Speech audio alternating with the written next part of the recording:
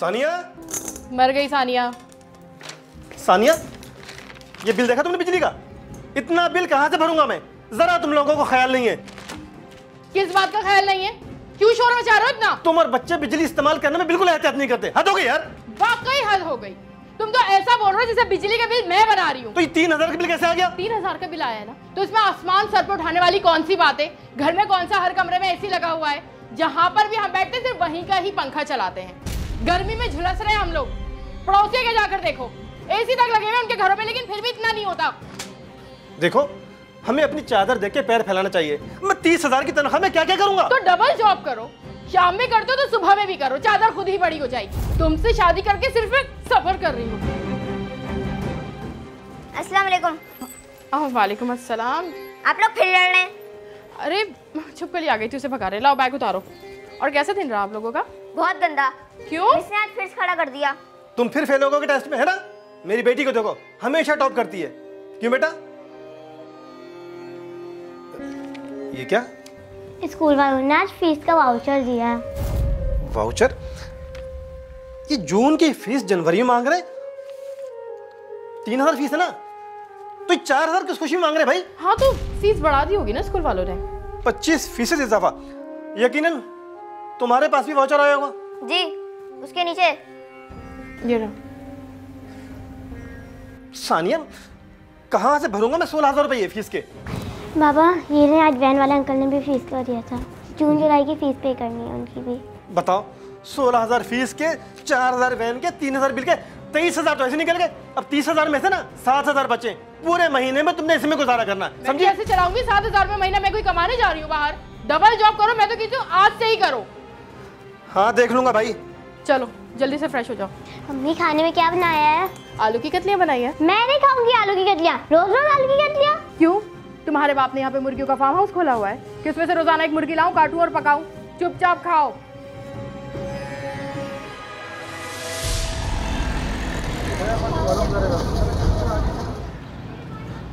अब असलकुम प्रिंसिपल से मिलना है।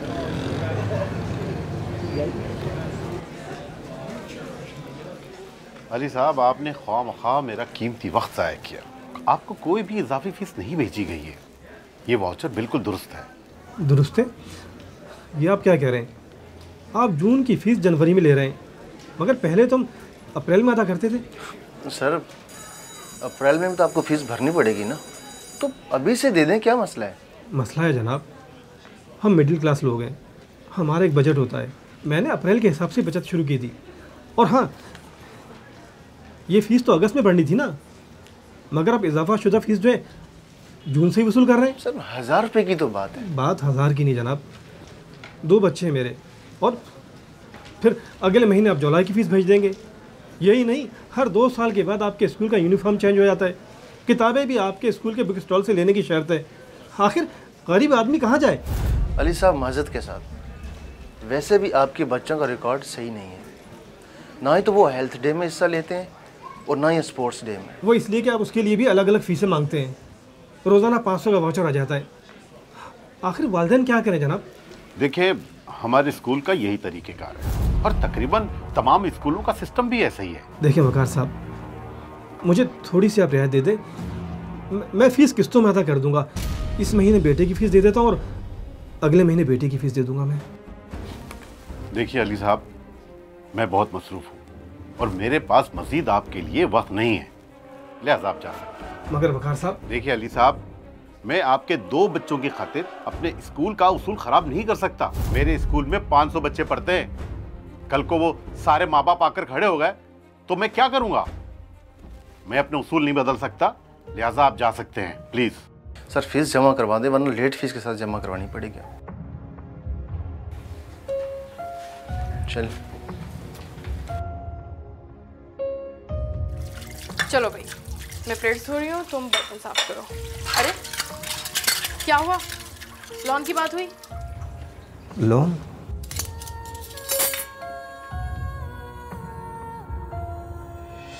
आप मेरी मजबूरी को समझने की कोशिश करें। लोन अली साहब आप मज़ाक कर रहे हैं। पहले ही आपने कंपनी से एक लाख रुपए लोन ले रखा है। मैं जानता हूँ और हर महीने मेरी तनख्वाह में से कटौती भी होती है। मुझे अपने बच्चों की फ़ीस के लिए लोन चाहिए। बच्चों की फ़ीस? बच्चों की फ़ीस के लिए आप लोन लेंगे। अब यही सुनना बाकी रह गया था। तो आप उन्हें समझाते ना अपना मसला बताते। सानिया मैंने समझाया था बहुत समझाया था उन्हें। देखें आपका मसला मेरी समझ से बाहर है। तालीम दिलवाना आपका ज़ाती इशू है। आप अपने मसले का खुद हल निकालें। आई एम वेरी सॉरी ये तो बहुत बुरा हुआ है। तुमने कुछ सोचा कि अब क्या होगा? सानिया मैंने सोचा है कि हम अपनी फायजा को प्राइवेट स्कूल से निकाल के किसी गवर्नमेंट स्कूल में दाखिल कर देते हैं। पागल हो रहे हैं आप। मैं नहीं नहीं ये ये ये ठीक नहीं है। और यहाँ अरीब करीब भी कोई गवर्नमेंट स्कूल नहीं है और इन हालात में तो मैं अपनी बच्ची को गवर्नमेंट स्कूल में नहीं भेजूँगी। देखो हालात बेहतर होंगे हम। नहीं आप आप कुछ भी करें आप डबल जॉब करें चाहे कुछ करें लेकिन मैं अपने बच्चों को स्कूल से नहीं निकाल सकती। सानिया निकालना पड़ेगा। तुम मजबूरी समझो मेरी। क्या मजबूरी समझू मैं? ऐसे कैसे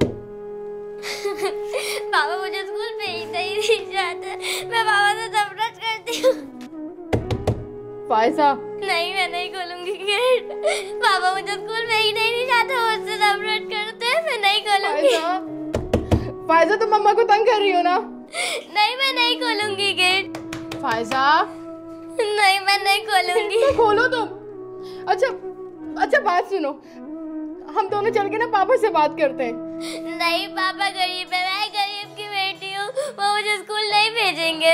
हाँ मैं आपको स्कूल भेज रही हूँ जब तो आई हूँ मैं तैयार करने आपको। क्या प्रॉब्लम है तुम्हारे साथ? चलो चलो अपने अब्बू के पास। बताओ अपने पापा को। जरा देखेंगे इधर। आपकी बेटी ने रो रो के कितना बुरा हाल कर लिया है।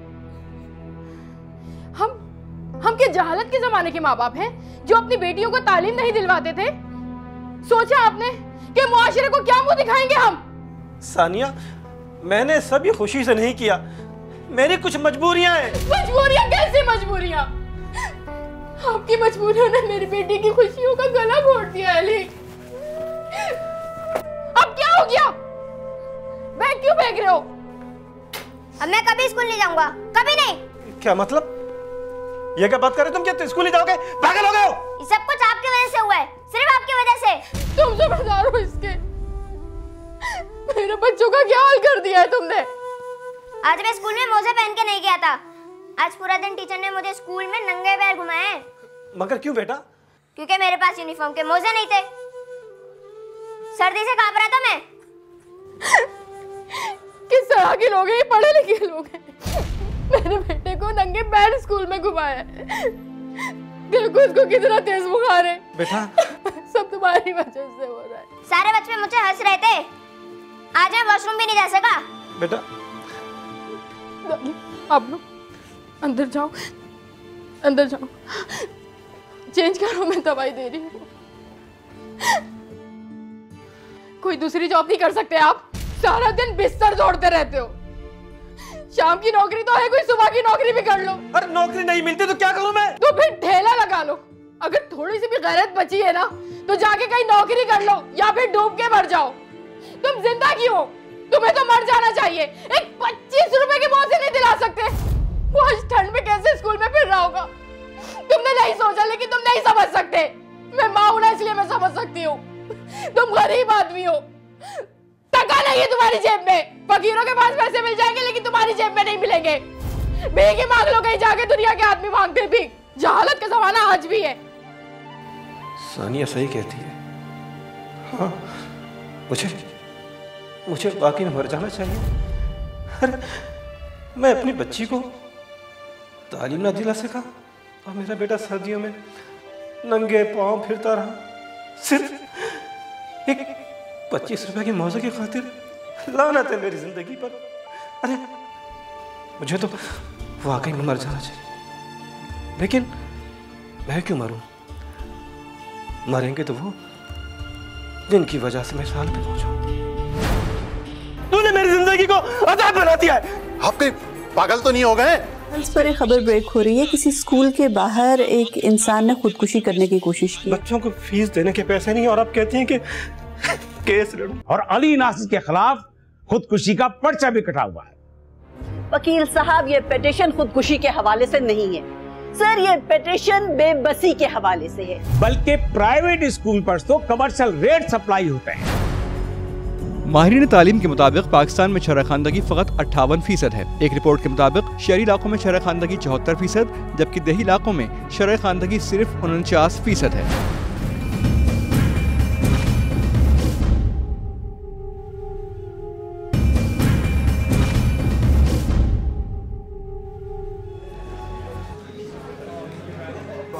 इंसान अरे तुझे मैं नहीं छोड़ूँगा मैं। अरे अरे ये क्या कर रहा है? क्या बदतमीजी है ये? तमीज नहीं आपको। अंदर क्लासेस चल रही हैं। तमीज? तूने मुझे जीते जी मार दिया है। तूने मेरी ज़िंदगी को अजाब बना दिया है। आप कहीं पागल तो नहीं हो गए? तेरी वजह से तेरी वजह से मेरी बेटी मेरा बेटा मुझसे नफरत करते मेरी बीवी मेरी शिकायत देखने को तैयार नहीं। मेरी खुशी में कातिल दो। आस्ता बोलिए स्कूल में बच्चे पढ़ रहे हैं। आप अपने मसाइल मेरे सर पर थोप रहे हैं जनाब। चल आप अंदर चलें। नहीं। चल के बात करते हैं बैठ। जो बात होगी यहीं पर होगी बस। ये देख मैं पेट्रोल लेकर आया हूँ। आज मैं सबके सामने खुद सोची करूँगा तेरा मकरू चेहरा मैं दुनिया को दिखाऊँगा। आज देखिए जनाब ये गिदड़ भपकी आप हमें ना दें। ले जाएँ आप इन्हें। इधर धमकी नहीं है! मैंने मीडिया वालों को फ़ोन किया है। वो कैमरा लेके आते होंगे। सबके सामने मैं खुद को आग लगाऊँगा। तेरा मकरू चेहरा देख पूरी दुनिया को दिखाऊँगा मैं। आप पुलिस को फ़ोन करें। चौकीदार। पुलिस को क्या फ़ोन चौकीदार।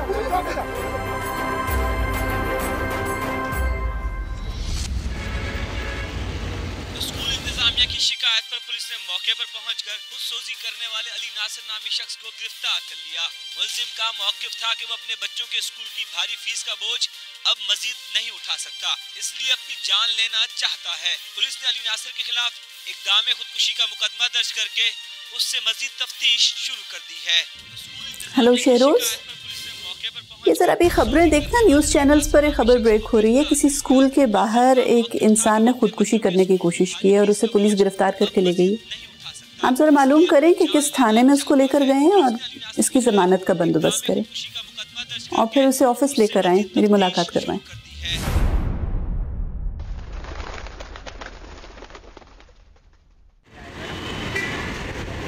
किसी मायूसी की बातें कर रहे हैं आप? और भला खुदकुशी किसी मसले का हल तो नहीं होता ना? देखिए, आपको अगर माली इमदाद की ज़रूरत है तो मैं आपकी मदद कर सकती हूँ। हाँ आप मदद कर सकती हैं और लोग भी मेरी मदद कर सकते हैं। मगर मैं एक खुददार इंसान हूँ। अपने बच्चों को मैं किसी इमदाद के पैसों पर नहीं पढ़ूँगा। मुझे तो हर माह फ़ीस भरनी और और हर माँ अपने बच्चों के चेहरों पर मायूसी दे। हौसला रखिए। एक तो ये बात जहन से निकाल दें प्लीज़ कि आपके मसले का कोई हल नहीं है। और दूसरा ये तय कर लें कि चाहे जैसे भी हालात हों आपने हालात का मुकाबला करना है और अपनी बेटी की तालीम आपने दोबारा से शुरू करवानी है। देखिए अगर इंसान एक दफ़ा पक्का इरादा कर लेना तो फिर कोई भी चीज़ नामुमकिन नहीं होती। अरे कहाँ से बांधू मैं हिम्मत? कभी ये पिंक डे रेड डे हर डे पे पैसे मांगते मैं कहाँ से कहाँ से दूँ अपने बच्चों? मेरे पास तो बच्चों को फ़ीस देने के पैसे नहीं और आप कहती हैं कि केस लड़ूं। देखिए, हर मसले का हल होता है। सबसे पहले तो आप आज से ये यकीन कर लें कि आप अकेले नहीं खुदा भी है जो आपकी बात सुन रहा है, आपकी परेशानी देख रहा है और इस मसले का कोई ना कोई हल ज़रूर निकल आएगा। और पैसों के लिए इतना परेशान ना हो इस केस में आपसे कौन पैसों का तकाजा कर रहा है? केस भी हो जाएगा, केस के अखराज भी हम उठा लेंगे। देखिए, सबसे पहले तो इस सिचुएशन को हम ऐसे हैंडल कर सकते हैं कि एक कॉन्स्टिट्यूशन पिटिशन आर्टिकल 199 के तहत दायर कर सकते हैं। शहरोज़, आप ज़रा इनके बच्चों के स्कूल को एक लीगल नोटिस तो भिजवाइए।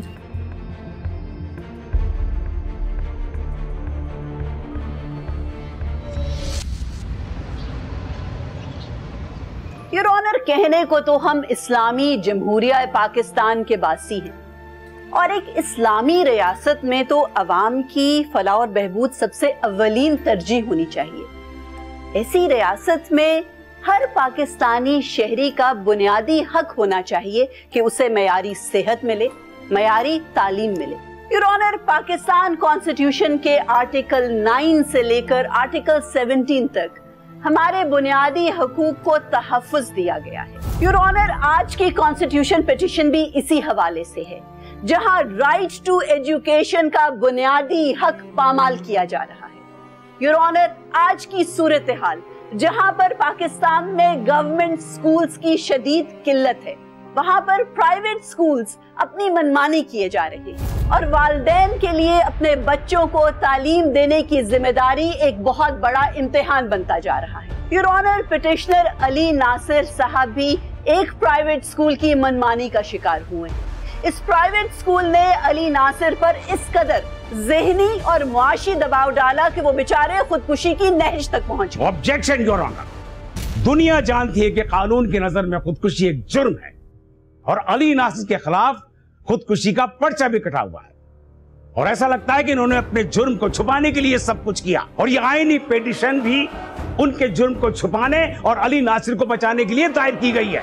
हालाँकि मेरे क्लाइंट ने पुलिस के ज़रिए इनको बचाने की कोशिश की, इन्हें जुर्म से रोका और इसका सिला आईनी पेटिशन की सूरत में हमें मिल रहा है।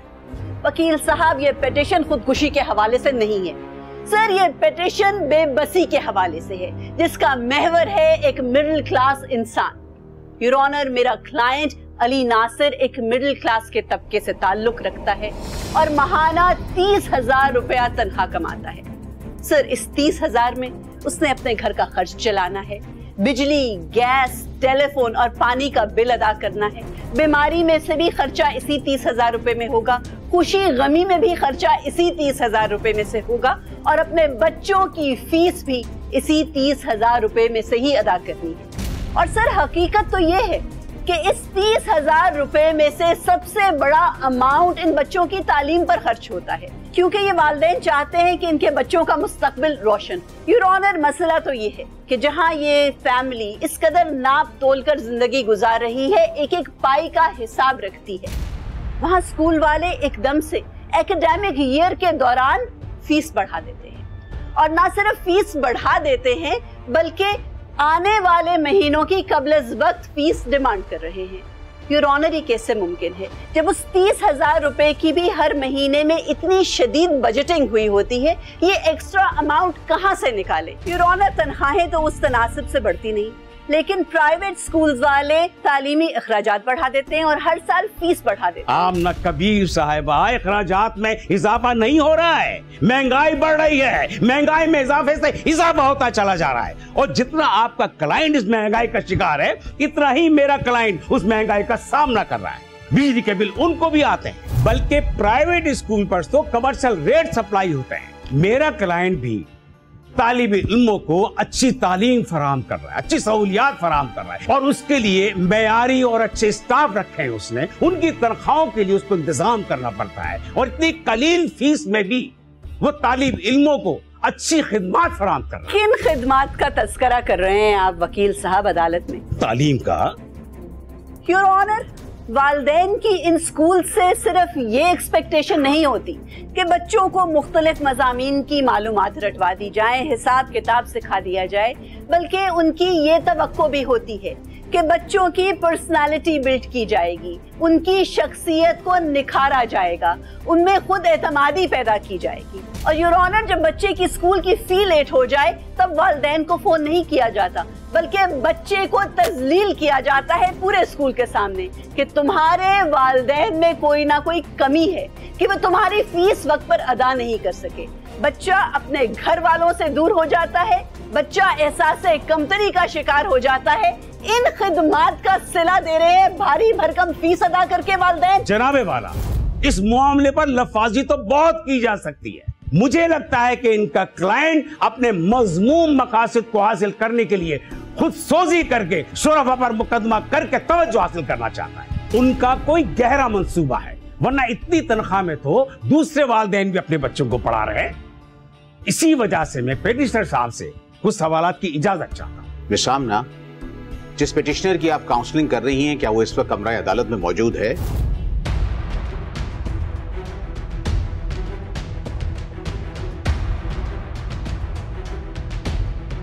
योर ऑनर हमें तो खुद हैरत हो रही है वो कमरा अदालत में मौजूद नहीं है इस वक्त। लेकिन सर उनको मैं रिप्रेजेंट कर रही हूँ। I am ready to answer all the questions on his behalf नहीं जनाबे वाला वो नहीं आएँगे। आना होता आ जाते। यह है इनके पेटिशनर की संजीदगी जो खुद गायब हैं और लोगों की पगड़ियाँ उछाली जा रही हैं। यह है उनकी नज़र में कानून का एहतराम। आज की समाप्त का वक्त खत्म हो गया है। ये अदालत हुक्म देती है कि इस मुकदमे की आइंदा समात पर पिटिशनर को sorry sir sorry to interrupt you लेकिन आपकी नॉलेज में एक बात लानी थी कि स्कूल वालों ने जो अगस्त में फ़ीस बढ़ानी थी उसका मुतालबा भी ये जनवरी फरवरी की फ़ीस में कर रहे हैं। सर अदालत से गुजारिश है कि एक इंटरम ऑर्डर जारी किया जाए कि जब तक इस केस की कार्रवाई चल रही है और किसी हतमी नतीजे पर नहीं पहुँचा जाता तब तक स्कूल को ऑर्डर किया जाए कि वो पुराने फ़ीस स्ट्रक्चर के मुताबिक ही फ़ीस वसूल करे। बिल्कुल गलत कोई इजाफी फ़ीस वसूल नहीं की जा रही। और इंटरम ऑर्डर का तो सवाल ही पैदा नहीं होता। ये अदालत इस स्कूल के प्रिंसिपल वकार साहब को इस बात का हुक्म देती है कि वो अपने गुजश्ता चार सालों का अकाउंट्स रिकॉर्ड अगली पेशी पे अदालत में हाजिर करें। और उसके साथ साथ पिटिशन नासिर अली को भी इस बात का हुक्म दिया जाता है कि उन्होंने जितनी भी फ़ीस अदा की है अब तक उनके तमाम वाउचर्स और रसीद नेक्स्ट पेशी पे अदालत में हाजिर करें। अदालत बर्खास्त की जाती है। मैं सोच रहा था कि कि हम ये केस वापस ले लें। आ, हमने ये फैसला किया है कि आपके बच्चों की ना सिर्फ़ जून जुलाई की फ़ीस माफ़ कर दी जाए बल्कि इस साल 20 फ़ीसद की रियायत भी दी जाए आपको। बात तो आपकी बिल्कुल ठीक है। मगर स्कूल वालों ने हमारे बच्चों को स्कूल से निकाल दिया तो? दरअसल आमना कबीर एक गैर मुल्की स्कूल चैन के लिए काम कर रही है और वो पाकिस्तान में बेहयाई फैला रहे हैं। मगर सानिया आमना कबीर आमना कबीर? अरे उन्हें क्या पता कि गरीब किस तरह से ज़िंदगी बसर करता है। खुद तो वो बहुत दौलतमंद है ना। 2017 की एक रिपोर्ट के मुताबिक पाकिस्तान में तालीमी शोबे की सूरत हाल खासी गैर तसली बख्श है। सरकारी आदाद शुमार के मुताबिक दो करोड़ बीस लाख बच्चे अब भी स्कूल नहीं जाते। पाकिस्तान शोबा तालीम पर सालाना मुल्की मजमू पैदावार का लगभग दो फ़ीसद खर्च करता है, जबकि अकवा मुतहदा के तहत इस शरह को कम अज कम चार फ़ीसद तक होना चाहिए। खानदगी की शरह के लिहाज से पाकिस्तान खत्े के दीगर ममालिक बांग्लादेश, भारत और नेपाल से पीछे दिखाई देता है।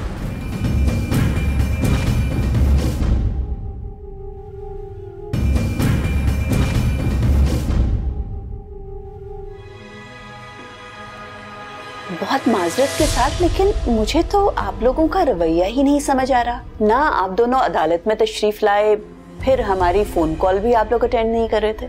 इसीलिए मामला जानने के लिए हम आपके घर आए। मैं सोच रहा था कि कि हम ये केस वापस ले लें। केस वापस ले लें? क्यों? अभी तो केस शुरू हुआ है। देखिए ऐसे इशारों में बात ना करें। अगर कोई बताने वाली बात है तो खुल के हमसे शेयर करें आप। दरअसल बात यह है कि आपकी वजह से हमारा मसला हल हो ही गया है। अब हम ये कोर्ट कचहरी के चक्कर में नहीं पड़ना चाहते मसला हल हो गया? आउट ऑफ़ कोर्ट हल हो गया? क्या मतलब? वो दरअसल पेशी से एक दिन पहले वकार अली के असिस्टेंट की कॉल आई थी। अच्छा। कहिए। देखिए वकार साहब का एक मैसेज मैंने आप तक पहुंचाना है। मैं कुछ समझा नहीं। देखिए जी। मुकदमे तो चलते ही रहते हैं। लेकिन इसमें नुकसान आपके बच्चों को होगा। एक साल उनका ज़ाया होगा और आपकी शरत को भी ठेस पहुंचेगी। और आपके बच्चों को दूसरा कोई स्कूल एडमिशन नहीं देगा। इसमें बेहतरी यही है कि ये कोर्ट कचहरी का मसला ना बनाया जाए। और यहीं बैठ के हल कर लें हम। देखें अब ये केस कोर्ट में चला गया है। मेरी बात सुने आप समझने की कोशिश करें ये मेरी बात करें। अस्सलाम वालेकुम। जी वकार साहब। लगता है कि आपने मेरी बातों का बुरा मान लिया है। अरे जनाब छोटी मोटी बातें तो ज़िंदगी में होती रहती हैं। आप ऐसा कीजिएगा कल मेरे पास आ जाइए मेरे स्कूल में तो हम बैठ के बात करते हैं। जी और हाँ आ, हमने ये फैसला किया है कि आपके बच्चों की ना सिर्फ़ जून जुलाई की फ़ीस माफ़ कर दी जाए बल्कि इस साल 20 फ़ीसद की रियायत भी दी जाए आपको। क्या? वाकई? आप सच बोल रहे हैं? जी हाँ बिल्कुल। आपके माली हालात के पेश नज़र हमने ये फैसला किया कि आपके बच्चों को बुक्स और दीगर किताबें भी मुफ़्त दी जाएँ। बल्कि आप ऐसा कीजिएगा कि कल आप स्कूल आ जाएँ और मेरे असिस्टेंट से मुलाकात कर लें। आ, फिर बाकी बातें भी तय कर लेंगे। बहुत बहुत शुक्रिया आपका। मैं मैं कल हाजिर होता हूँ। मैम आपका अंदेशा बिल्कुल ठीक था। वकार साहब ने इन्हें कोई डील दी होगी। आप बहुत ही शरीफ और सादा इंसान हैं। आपको मालूम है कि बकार मलिक तो खुद अदालत में बैठा था और उनका वकील आपकी गैर हाजिरी पर तंज कर रहा था। मगर वकील साहबा जो हम चाहते थे वो तो हो गया। अब झगड़ा किस बात का? देखिए आपका कौन सा मसला हल हो गया? कोई लिखत पढ़त हुई है कोई उसने फ़ी वाउचर दिया हो कोई इस किस्म की बात लिख कर दी हो कि मैं फ़ीस में कमी कर रहा हूँ या फ़ीस टोटली माफ़ कर रहा हूँ? नहीं। और आप जिस मीटिंग के बारे में मुझे बता रहे हैं उस मीटिंग को भी 48 घंटे तो हो गए हैं। उसने आपसे दोबारा रब्ता किया है? नहीं मैंने तो खुद ने कॉल करने की कोशिश की मगर उन्होंने फ़ोन ही नहीं उठाया मेरा। और आपको अभी भी उनकी नीयत पर शक नहीं हुआ। देखिए ये लोग सिर्फ़ आपको बेवकूफ़ बना रहे हैं। इनका मकसद सिर्फ़ इतना है कि जो प्रेशर जो दबाव हम लोगों ने इन पर बिल्ड किया है, वो आप केस वापस लेने से वो दबाव खत्म कर दें। और देखिए, आप इस बात का भी एहसास करें कि आपने एक बहुत बड़ा कदम उठाया है। ये वाकई में एक बहुत बड़ा मसला है। सिर्फ़ आपका और आपके बच्चों का मसला नहीं है। देखिए, हमने तो और स्टूडेंट्स के वालदेन से भी बात की है और वो खुद इस पिटिशन का हिस्सा बनना चाह रहे हैं। अब अगर इस नहज पर आप केस वापस लेने की बात करते हैं तो आप अपने साथ साथ बाकी वालदेन और उन बच्चों का भी नुकसान करेंगे।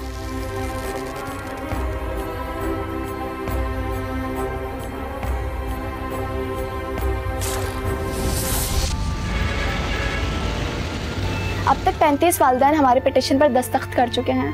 हम चाहते हैं इस नेक मकसद में आप भी हमारा साथ दें। बात तो आपकी बिल्कुल ठीक है।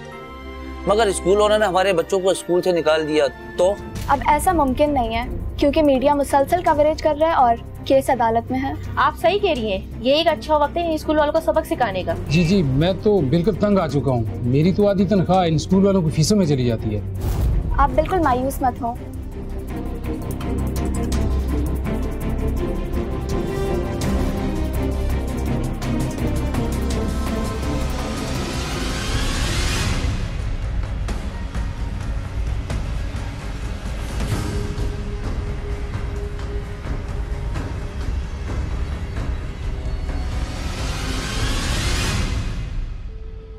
वर्दा मैंने आपको एक टास्क दिया था कि उस स्कूल के बच्चों के वालदेन से मिलें। क्या बना उसका? यस मैम जो आपने मुझे टास्क दिया था वो तकरीबन कंप्लीट हो गया अड़तीस वालदेन शामिल होने के लिए तैयार है पिटिशन में। ये उसकी लिस्ट है। ओके गुड मैम स्कूल वालों ने एक और वाउचर दे दिया। उसकी मैंने कॉपी इसी में अटैच कर दिया अच्छा। मैडम वालेकुम अस्सलाम। क्या अपडेट है? मैडम अपडेट्स ये हैं कि वकार मलिक ने आपके खिलाफ प्रोपेगेंडा शुरू कर दिया। अच्छा क्या कह रहा है? उसने व्हाट्सएप और बाकी सोशल साइट्स पे वीडियो वायरल की। ये वीडियो मैंने अपनी बेगुनाही साबित करने के लिए नहीं बल्कि मेरे खिलाफ चलने वाले केस की हकीकत को सामने लाने के लिए बनाई है। अली नासिर के माली हालात की वजह से मैंने उसके बच्चों की फ़ीस की माफ़ी और मुफ़्त कोर्स देने की पेशकश की। लेकिन उसकी वकील आमना कबीर कुछ और ही चाहती है। दरअसल आमना कबीर एक गैर मुल्की स्कूल चैन के लिए काम कर रही है और वो पाकिस्तान में बेहयाई फैला रहे हैं। वो उस मजलूम को अपने मकासद के लिए इस्तेमाल कर रही है।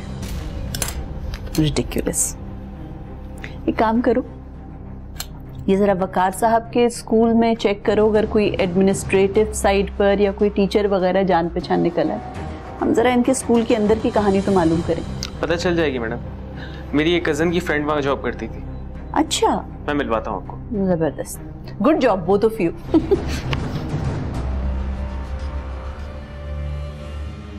पापा मैंने इस साल का पूरा सिलेबस खत्म कर लिया आप यहाँ से भी पूछे मैं सब बता दूँगी। अरे भाई मेरा बेटा है इतना काबिल हम्म? बस बस ज़्यादा बेटी की काबिलियत पर फख्र करने की कोई ज़रूरत नहीं है। अली देखो मैं तुम्हें सही मशवरा दे रही हूँ। स्कूल जाओ और उनकी ऑफ़र को एक्सेप्ट करो। हेलो जी अस्सलाम वालेकुम कैसी है मैं सुमेरा कैसे याद कर लिया आज? जी मैं ठीक हूँ लेकिन थोड़ी सी परेशान हूँ। ओहो खैरियत? क्या हुआ? आपने वो वकार मलिक की वीडियो तो देखी है ना? जी मैंने बिल्कुल वीडियो देखी है लेकिन इसमें परेशानी की क्या बात है? बात ये है आमना साहिबा कि आप हमारी लीगल एडवाइजर हैं। मगर इस वीडियो में आपके और हमारे प्रोफेशनल ताल्लुकात को बहुत मनफी अंदाज में दिखाया जा रहा है। तुम खुद सोचो ना कि जब तक केस का फैसला आएगा जब तक हमारे बच्चे जवान हो जाएँगे तुम क्या चाहते हो? कि हमारे बच्चे जाहिल हैं मुआशरे में कोई मुकाम ना हो इनका। स्कूल वालों ने ये कहा है ना कि वो हमें 20 परसेंट का डिस्काउंट देंगे। तो हम उनसे बात करते हैं कि हमें इनके 20 परसेंट नहीं चाहिए। अगर आपको फ़ीस माफ़ करनी है तो पूरी मैट्रिक तक माफ़ करें। देखिए एक तो उस वीडियो में कहीं पर भी आपके चेन ऑफ़ स्कूल्स का तस्करा नहीं हुआ उसने नाम नहीं लिया आपके स्कूल्स का। आप ये पिटीशन वापस ले लें। देखिए पिटीशन तो वापस नहीं ली जा सकती। ये सिर्फ़ एक फैमिली की बात नहीं है इसमें बहुत से वालदेन परेशान हैं और वो भी इस पिटिशन का हिस्सा बन चुके हैं। मैं उन तमाम लोगों को मायूस नहीं कर सकती। ये केसेस से कुछ भी नहीं रखा कुछ नहीं होने वाला। मगर सानिया आमना कबीर आमना कबीर? अरे उन्हें क्या पता कि गरीब किस तरह से ज़िंदगी बसर करता है। खुद तो वो बहुत दौलतमंद है ना। अब उनका फ़ोन आएगा ना तो मत रिसीव करना। और अगर घर आएँगे तो हम दरवाजे नहीं खोलेंगे। मगर वगर कुछ नहीं सोचो नहीं जाओ और जाके स्कूल में जाके बात करो। फायजा। अब जल्दी से अपना यूनिफॉर्म निकालो उसे तैयार करो और परसों से तुम जाओगी स्कूल थैंक यू मामा लव यू चलो जाओ। मैं माजरत चाहती हूँ। इस सूरत में हमें आपके साथ अपना कॉन्ट्रैक्ट खत्म करना पड़ेगा। आपकी मर्ज़ी है आप कॉन्ट्रैक्ट खत्म कर दें। नो प्रॉब्लम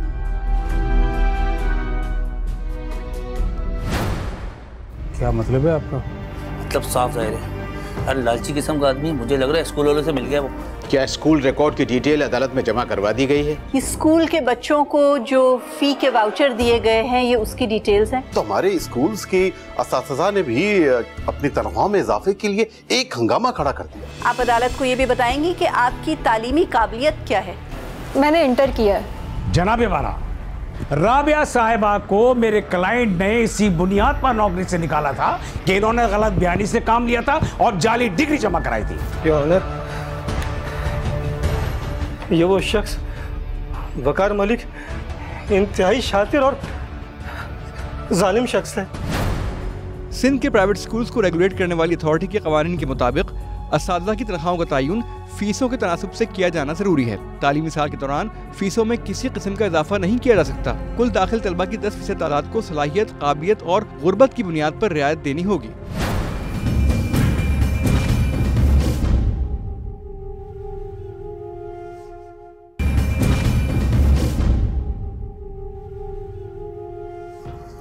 ये अली साहब नहीं आए अभी तक? अली साहब आते ही होंगे हो सकता है कि ट्रैफ़िक जाम में फंस गए होंगे।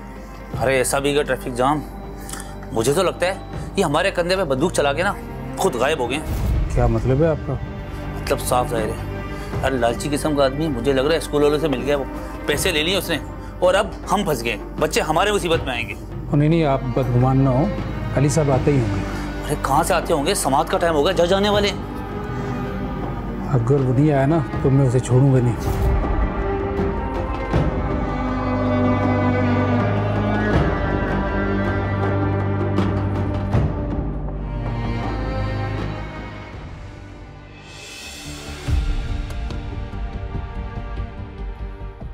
मुकदमे की समात का आगाज़ किया जाए।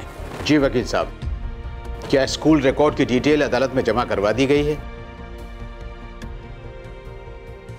जी जनाब वाला हमने अदालती हुक्म के मुताबिक चार साल रिकॉर्ड जमा करा दिया है। और इसमें देखा जा सकता है कि कोई बेजाबतगी नहीं हुई है और फ़ीस में भी इजाफा कानून के मुताबिक हुआ है। Objection your honour sir school की तरफ़ से जो रिकॉर्ड अदालत में जमा करवाया गया है, वो किसी भी तरीके से रिलायबल नहीं है। सर, आप ये रिकॉर्ड देखिए कि स्कूल के बच्चों को जो फ़ी के वाउचर दिए गए हैं, ये उसकी डिटेल्स हैं। और सर, इस स्कूल के दूसरे बच्चों के वालदेन ने भी इस पिटिशन में अपना नाम शामिल करवा दिया है और उनके बच्चों के भी स्कूल के फ़ी वाउचर्स इस फ़ाइल में जमा हैं। सर, इन फ़ी वाउचर्स से साफ़ देखा जा सकता है कि पिछले चार सालों में बहुत मरतबा स्कूल की फ़ीस में इजाफा किया गया है। जी वकील साहब, इन तमाम वाउचर्स को देखकर ऐसा लगता है कि आपका दावा कत्तन गलत है। बेहतर यही होगा कि प्रिंसिपल साहब खुद तशरीफ़ लाएँ और इस बात की वजाहत करें कि आया ये वाउचर्स दुरुस्त हैं या गलत हैं।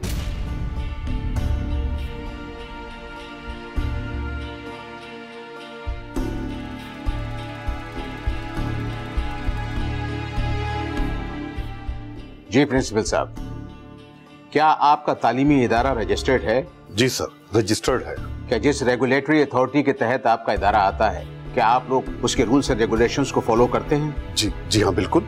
तो क्या इस रेगुलेटरी अथॉरिटी ने आपको इस बात की इजाज़त दी है कि आप साल में दो मरतबा मन माना इजाफा करते हैं फ़ीस में? सर बेशतर प्राइवेट स्कूल्स का जो फ़ीस स्ट्रक्चर है हम तो उससे भी कम फ़ीस वसूल कर रहे हैं। बजट के बाद पेट्रोल और दीगर मसनुआत की जब कीमतें बढ़ी तो हमारे स्कूल्स की इस ने भी अपनी तनख्वाह में इजाफे के लिए एक हंगामा खड़ा कर दिया। तो मजबूरन हमें भी बच्चों की फ़ीस में इजाफा करना पड़ा। इस रेगुलेटरी अथॉरिटी ने आपको पाँच फ़ीसद इजाफे की मंजूरी दी है। वो भी साल में एक मरतबा। और आपने पच्चीस फ़ीसद इजाफा कर दिया। आप अदालत को गुमराह नहीं कर रहे योर ऑनर इन्होंने ना सिर्फ़ गलत रिकॉर्ड अदालत में जमा करवाया है, बल्कि ये इस वक्त भी अदालत में गलत बयानी से काम ले रहे हैं। योर ऑनर इनके स्कूल की एडमिनिस्ट्रेशन और फाइनेंस की असल हकीकत क्या है? ये बताने के लिए मैं अपनी एक गवाह राबिया साहिबा को कटहरे में पेश करने की इजाज़त चाहती हूँ। इजाज़त?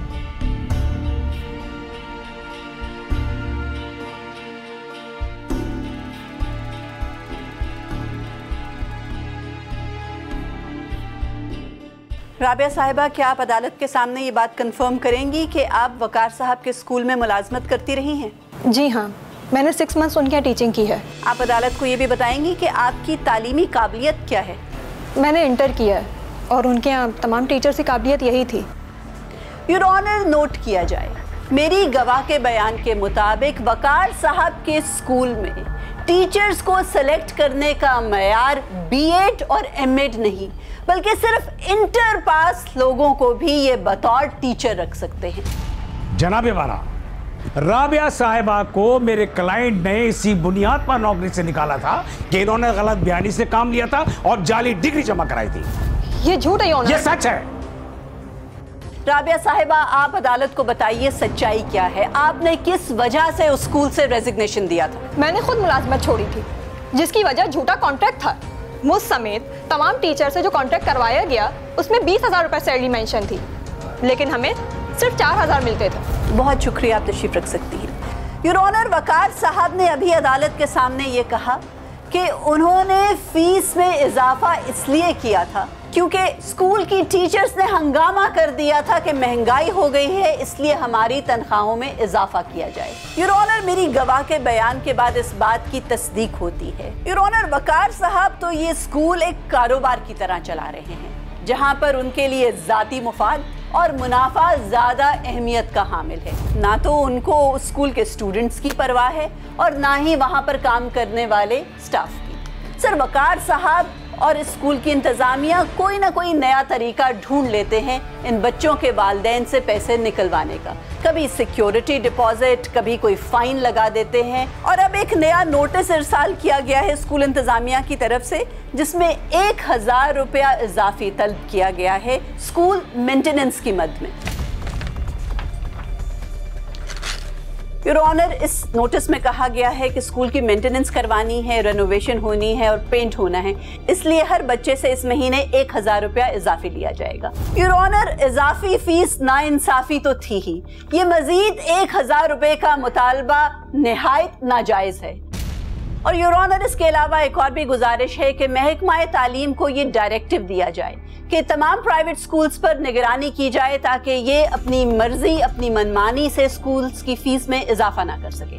थैंक यू सर जनाबे वाला एक अहम मामले पर तवज्जो दिलाना चाहता हूँ। इस केस का असली पेटिशनर अली साहब अभी तक गायब है अदालत से। वाह साहब क्या केस है? इससे ज़ाहिर होता है कि अली साहब की निगाह में अदालत का कितना एहतराम है।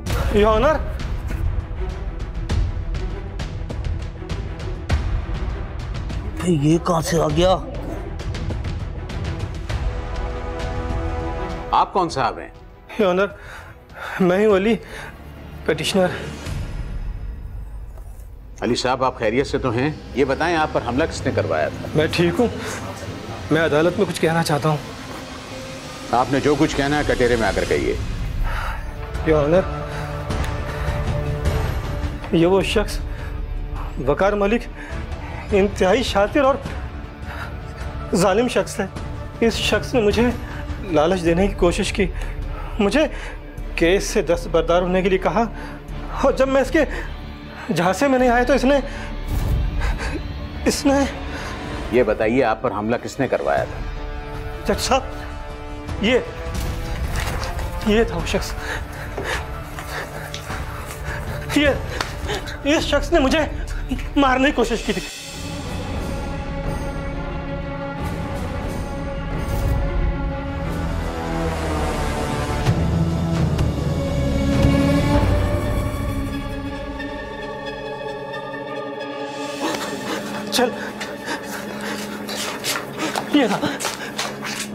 कुछ नहीं किया। और तूने अली साहब पे हमला किया और हमें आकर यहाँ का बरगलाता है हाँ? क्या इन्होंने मारा है? मैंने कुछ नहीं किया। जज साहब जो कुछ किया उन्होंने किया उन्होंने मुझे कहा था जज साहब। मैंने कुछ नहीं किया। ऑर्डर ऑर्डर अदालत के तकदस का ख्याल कीजिए। बंद कीजिए ये बदतमीजी और बैठ जाइए खामोशी से। बैठ जाइए। जज साहब इस शख्स ने तो पूरा इंतज़ाम किया था। मगर शायद मेरी किस्मत अच्छी थी कि मैं इसका चेहरा अदालत में बेनकाब करने के लिए पहुँच गया। लोगों को तालीम देना एक मुकदस पेशा है। कोई तिजारत नहीं, लेकिन प्राइवेट स्कूल्स में मौजूद चंद काली भेड़ों ने इसे तिजारत बना दिया है। अदालत ऐसे मनफी रवैये और हथकंडों की भरपूर मजम्मत करती है, जिनके तहत वालदेन को लूटा जा रहा है। ये अदालत मफाद अमा में दायर करदा एडवोकेट आमना कबीर की समात की दरखास्त के लिए एक लार्जर बेंच तश्कील देती है, जो रोज़ाना की बुनियाद पर इस केस की समाप्त करेगा। साथ ही प्राइवेट एजुकेशन इंस्टीट्यूशन की रेगुलेटरी अथॉरिटी से प्राइवेट स्कूल्स के फ़ीस स्ट्रक्चर की कड़ी निगरानी करने और खिलाफ वर्जी करने वालों के खिलाफ सख्त से सख्त सजा देने का भी हुक्म देती है। अगर पेटिशनर चाहे तो अपने ऊपर होने वाले हमले के खिलाफ कानूनी कार्रवाई कर सकता है और पुलिस को भी इस बात की तंबी की जाती है कि वो पिटिशनर की दरखास्त पर फ़ौरन एक्शन ले। अदालत बर्खास्त की जाती है। कोर्ट नंबर पाँच में अगर आप भी कोई केस पेश करना चाहते हैं तो हमें ईमेल करें। Court five eight Samaa dot TV